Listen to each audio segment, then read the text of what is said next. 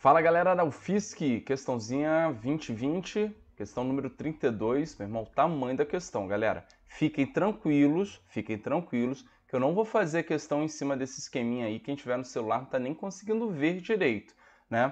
Eu peguei cada uma das afirmativas, tá? Fiz aqui uma apresentação de slide para que vocês vejam todas as situações possíveis aqui dessa questãozinha, a gente extraia todos os conteúdos do que talvez seja a grande dificuldade da galera na genética, que é determinação das heranças, tá? analisando o heredograma. Então a gente vai fazer cada uma das afirmativas, galera, separadinho, com calma, tranquilidade e pode ter certeza que se você, meu irmão, assistir essa questão toda, toda a resolução, você vai saber tudo de definição de heranças a partir dos heredogramas. Beleza pura? Então vamos com tudo vai ser longo. Lembra que aqui ó, no texto eu botei afirmativa por afirmativa, cada períodozinho. Fiquem tranquilões, meu irmão, que eu tô aqui para facilitar a vida. Então se inscrevam aí no canal, galera. Vamos com tudo que Bio tá crescendo. Tô começando agora, meu irmão. E cara, tá voando. Espero que seja a última, última vez que vocês estejam vendo essa resolução. Porque, meu irmão, é a última vez que vocês vão fazer a prova. Vocês vão passar, tenho certeza. Vamos com tudo.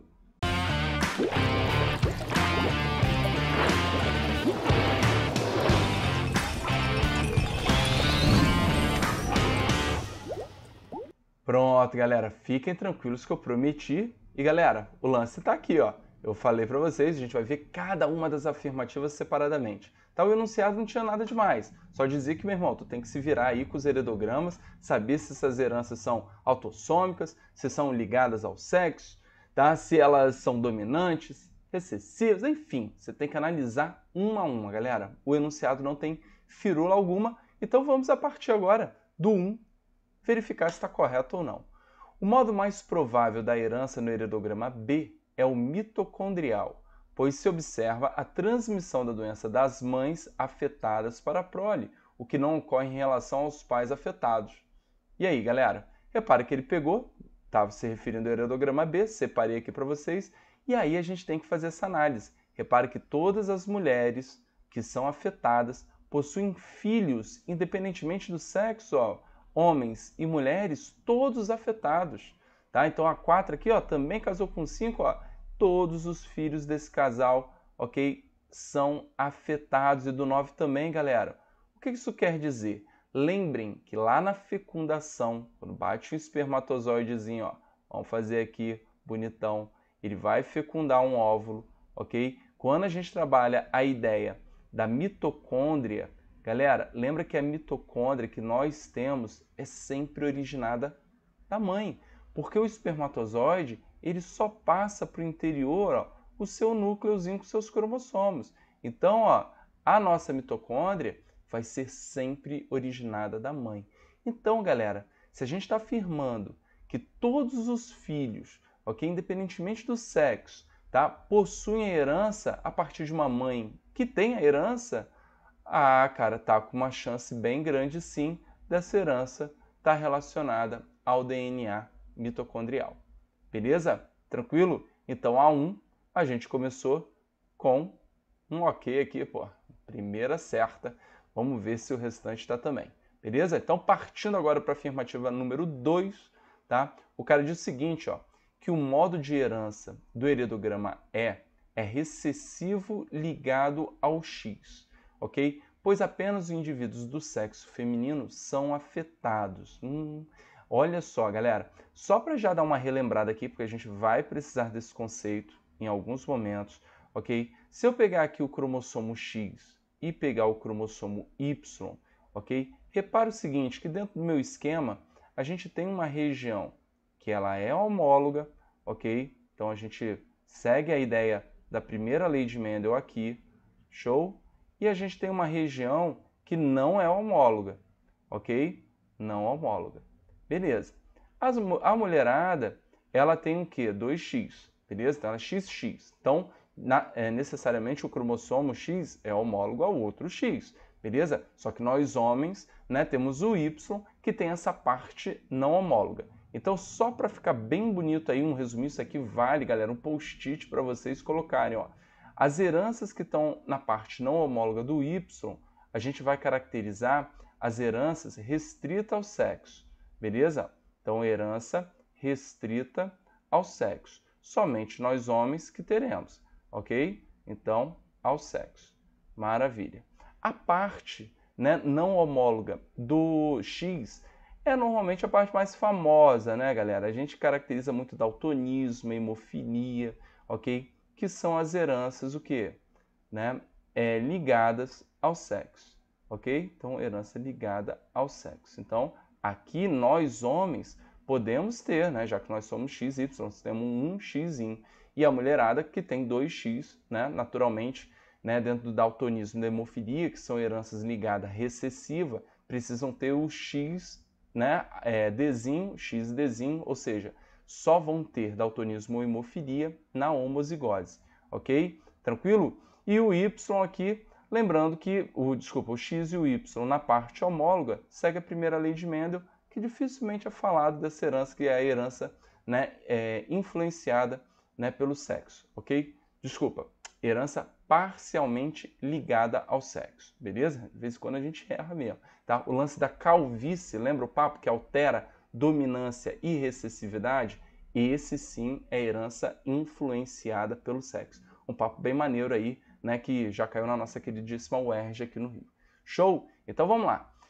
Bom, ele disse que está com maior cara de herança é, que é recessivo ligado ao X. Cara, olha só o problema. Se a gente está dizendo que essa herança é recessiva e ligada ao X, eu estou afirmando que tanto o 1 e o 2 são XAzinho, XAzinho, XAzinho, XAzinho. Só que eu tenho os dois pais que não são afetados. Não são afetados, galera. Então, eu tenho que pensar que, por exemplo, esse homem, ele seria XAzão Y e cara, cadê o xazão aqui na, nos filhos? Não tá com cara, galera. Não tá com cara mesmo de herança ligada ao sexo. Então essa aqui tá errada, tá? Eu não vou dizer o porquê que tá errado, o que tá certo, qual é a herança, porque na verdade é, essa questão vai estar tá na, na, na afirmativa 64, beleza? Para não ter que fazer duas vezes, beleza? A gente vai repetir e vamos dizer de fato qual é a herança lá na afirmativa 64. Show? Então, vamos que vamos. Então, vamos lá. 4. É, o modo de herança ligado ao Y é observado no heredograma A. Dá um pit stop aqui. Vamos ver se está tá certo. Repara que no, heredograma A só tem homens afetados, bacana. Só que tem um detalhe importante. Todos os filhos homens, né? De homens afetados, ó, reparem que ó, o 4, todos os filhos são afetados beleza? E esse 5 aqui, que é afetado, casou com uma moça que não afetada, mas todos os filhos são afetados, beleza? E repare que esse carinha casou com uma mulher não afetada e todos os filhos são afetados. Pô, tá com cara que essa herança de fato tá lá no cromossomo Y, beleza? Então, de fato, tá? Essa herança tá ligado ao Y. Show de bola. Aqui tá bacana. Agora ele continua. Porém, a doença do heredograma C possui um padrão em que não se descarta a possibilidade de haver é, esse modo de herança. Então vamos lá. Eu estou vendo aqui só homens afetados, então né, ele desenhou isso para você já ir na onda do heredograma A. Só que tem que ter um cuidado, né, galera? Porque ó, esse 2 que é afetado, ele não tem filho afetado.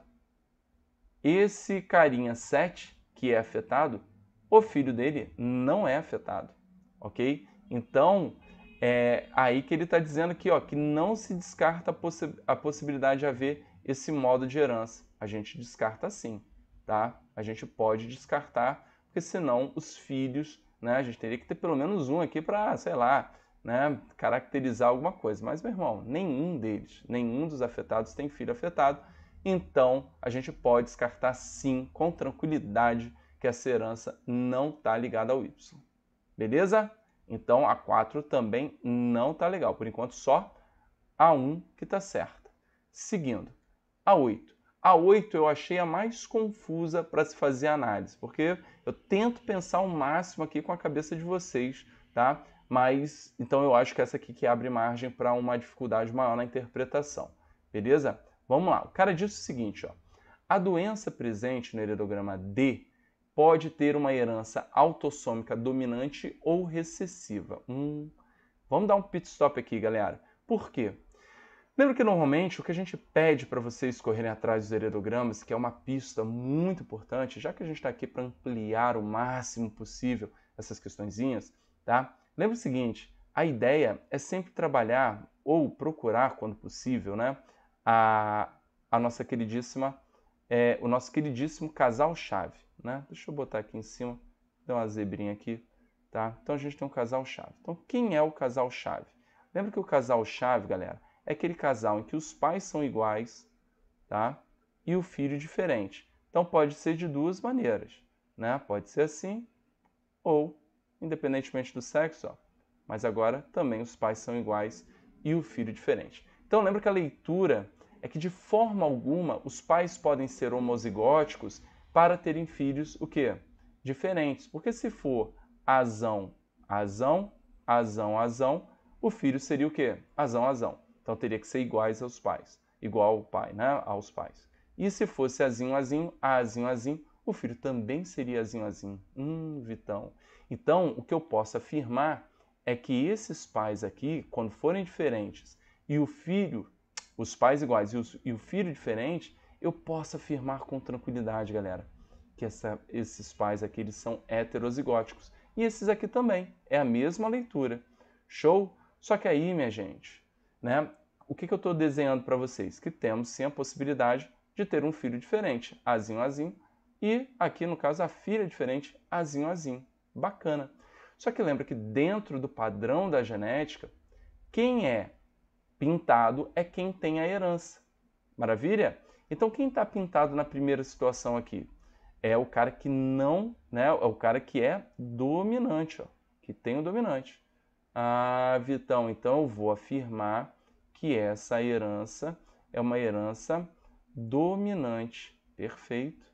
Essa é a ideia, tá? Agora, quando eu tenho, repare que o pintado, né, é o azinho azinho, a gente diz que essa herança ela é recessiva. Só que o cara veio cheio de maldade aí para cima da gente nesse heredograma. Ele não me deu um casal chave. Ó. Repare que eu tenho casal igual, filhos iguais, né? Tenho casais diferentes, com filhos diferentes, casais diferentes, filhos diferentes, e por aí vai. Show? Então ele está afirmando tá, que pode ter uma herança, essa herança ela pode ser autossômica dominante ou recessiva. Beleza? Então muita gente poderia se né, aventurar a tentar né, o, esse cara aqui ou ser azinho azinho, considerando a herança recessiva, ou ele ser azão alguma coisa, pensando na herança dominante. Então, essas seriam as possibilidades, tá? E aí você ficar tentando fazer cruzamentos aqui loucamente, né, buscando encaixar. E pode ser que encaixe, beleza? Pode ser que encaixe. Só que ele segue aqui é, dando algumas outras, é, alguns outros indicativos para a gente dizer se isso é de fato conveniente ou não acreditar. Então ele diz o seguinte, ó, Porém, é mais provável que seja uma herança autossômica recessiva. Por se tratar de uma doença rara, aí ele já me deu aqui um papo que eu não curti muito. Porque doença rara? Se cara, repare que a gente tem aqui um bando de gente afetada, né? E pelo fato de os indivíduos sem a doença, ou seja, quem não está pintado, não serem portadores do alelo raro responsável pela manifestação da doença. E aí, galera, isso está correto também? Vamos pensar aqui, ó, é, dentro do que ele do que ele sugeriu, né, que a herança autossômica ela é recessiva. Se esse carinha 7 aqui, ó, vamos botar um vermelhinho aqui para não confundir com o pretinho, se ele for azinho azinho, ok? Essa mãe aqui com certeza tem um azão, passou o azão para essa filha, ok? Então ela pode, ela pode não, ela deve receber um azinho, ó. opa! E os filhos poderiam ser azinho, azinho, azinho, a partir do princípio que a mãe 6 aqui fosse azão, azinho, heterozigótica. E aí a gente tem aqui, ó, uma portadora. Então ele disse que não pode ser portadora do alelo. Então, galera, realmente a 8 babou. Tranquilo? Não está correta. Maravilha, gente? Então, assim, galera tem um pouquinho de dificuldade, é importante vocês irem aí na maldade e também se ligar no que, que o cara está afirmando para vocês. Beleza? Vamos que vamos. A luta mesmo é longa. Né? O heredograma C possui um modo de herança recessivo ligado ao X, pois não se descarta, pois não, desculpa, porém não se descarta a possibilidade de ele ser dominante ligado ao X ou autossômico. Bom, estou vendo muito homem afetado, né? Lembrem que a herança é, ligada ao sexo recessiva, ela sim tem uma probabilidade maior em homens do que em mulheres. Lembra que a mulher, para ser daltônica, ela precisa ser XDzinho, XDzinho. E existe a mulher normal, XDzão, XDzinho, e XDzão, XDzão, ok? Então, ela só é daltônica quando ela tem os dois alelos, beleza? Já o homem, um pouquinho diferente o papo, né? Porque o homem basta um Dzinho, ó, que ele já vai ser daltônico ok? E ele é normal quando ele for x desão y. Então reparem que a gente tem uma probabilidade maior, sim, de homens daltônicos. E também isso serve para hemofilia, ok? Do que mulheres. Então, olhar um heredograma, ver muito mais homens do que mulheres, no caso aqui nenhuma mulher afetada, eu posso pensar numa herança recessiva ligada ao X. Beleza. Tá? Só que ele diz que não pode se descartar a possibilidade dele ser dominante ligado ao X ou autossômico. Então, pô, quase todas as possibilidades. Então vamos ver se esse cara aqui, né, esse 2, se essa herança fosse dominante, ó, vamos botar o desão, que a gente usou aqui como exemplo, Y. Vocês não concordam comigo que todas as mulheres, todas as filhas mulheres desse cara, né, recebem um X desão dele, correto? E mesmo a mãe sendo X desinho, X desinho, ela passaria o XDzinho para a filha. Mas eu afirmando que é dominante essa herança, cara, todas as filhas desse rapaz deveriam ser o quê? Afetadas. A mesma coisa aconteceria no 7. Então a gente não pode, né? A gente não pode caracterizar eh, de maneira alguma essa herança sendo dominante, né, ligada ao sexo. Então, ele disse que não se descarta, mas podemos descartar sim. Show? Tranquilo? Então, vamos seguindo. 32. A probabilidade da próxima criança do casal 33 e 34 do heredograma é ser afetada e ser do sexo feminino é de 25%.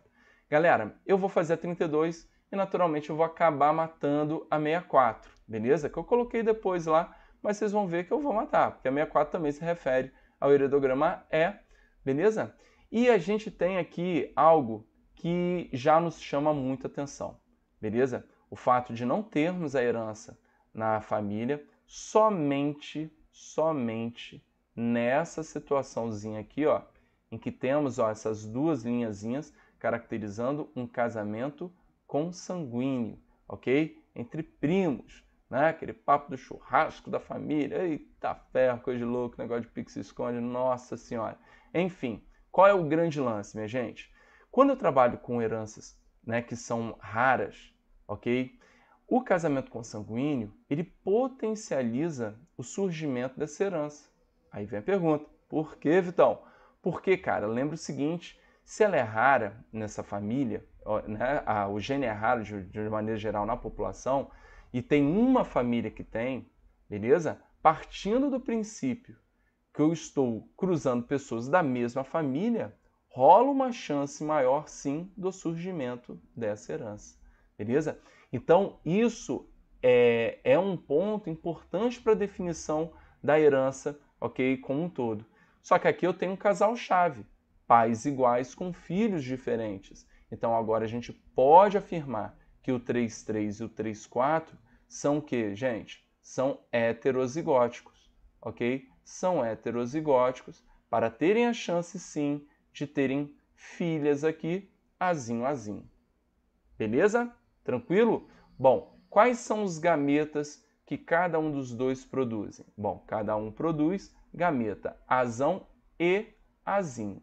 E aqui, gameta azão e azinho.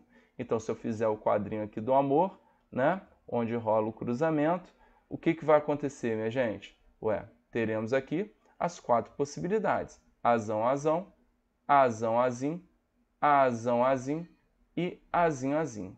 Então, a chance tá, de, do, no caso aqui, né, ter uma criança, né, a próxima criança é, afetada, ela vai ser de, aqui, ó, um de quatro possíveis. Então, um quarto, ok? Só que o cara veio na maldade e disse que tem que ser do sexo feminino. Ah, Vitão, então a gente tem que multiplicar isso aqui por meio, ok? Então, isso aqui vai dar um oitavo, galera. Um oitavo não é 25%, né, galera? Né? Vai dar 12,5%. Então, cortou, não tá bacana. Beleza? E aí, como eu falei, a 64 ficou tranquila porque ele disse o seguinte: é possível que apenas um indivíduo da primeira geração do heredograma E tenha um único alelo raro que foi transmitido aos seus descendentes. O encontro desse alelo é promovido pelo casamento consanguíneo, resultando em indivíduos com a doença na quarta geração. Foi o que eu falei. Né? Se a gente está trabalhando com a ideia né, ó, de apenas um indivíduo da primeira geração, vamos supor que seja o pai que tenha um azinho, ok? Esse azinho pode ter passado para né, os filhos, ok? E aí, galera, não tem jeito, né? Em algum momento, essa galera que é azão azim, já que é raro, né? Mesmo que o, os pais aqui ó, sejam azão azão, azão azão, ok? A gente pode ter sim os filhos heterozigóticos. Olha que beleza. E aí a gente encontra a situação. Então, como eu falei, o casamento consanguíneo, ele sim potencializa tá? o encontro desses alelos, podendo manifestar heranças que são raras. Show? Então, por isso que normalmente os pais né, criam história, falam que ah, entre primos, se rolar parada, né, vira dragão, vira. tem essa história braba, né, para tudo né, não rolar no pique se esconde no churrasco da família. Show de bola? Então, 64 está correto. Então, ficou somente a primeira e a 64 certas. Né? Então, somatório aí 65. Show? Galera, como eu falei, correção longa, ok? Tá aqui, ó, tudo detalhado, tempo por tempo, cada uma das alternativas, beleza? E aí você pode ir direto ao ponto, caso tenha dúvida nenhuma. Agora, quem assistir esse vídeo inteiro fez uma bela, mas uma bela de uma revisão, tá? Nessa questão da determinação das heranças por heredograma. Show de bola? Espero que tenham curtido. Não deixem de mandar comentários se tiver dúvida. Mandem para os amigos os vídeos. Meu irmão, vamos com tudo!